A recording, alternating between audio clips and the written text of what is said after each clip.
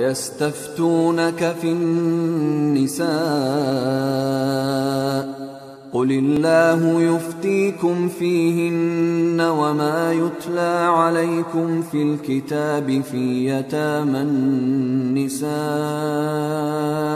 في يتامى النساء اللاتي لا تؤتونهن ما كتب لهن وترغبون وترغبون أن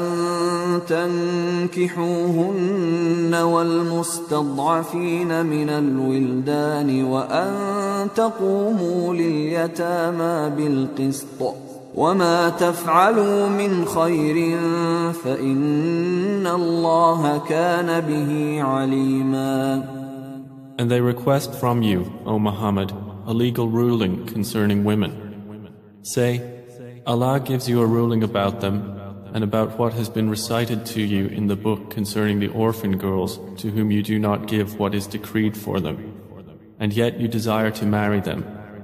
and concerning the oppressed among children, and that you maintain for orphans their rights in justice. And whatever you do of good, indeed, Allah is ever knowing of it.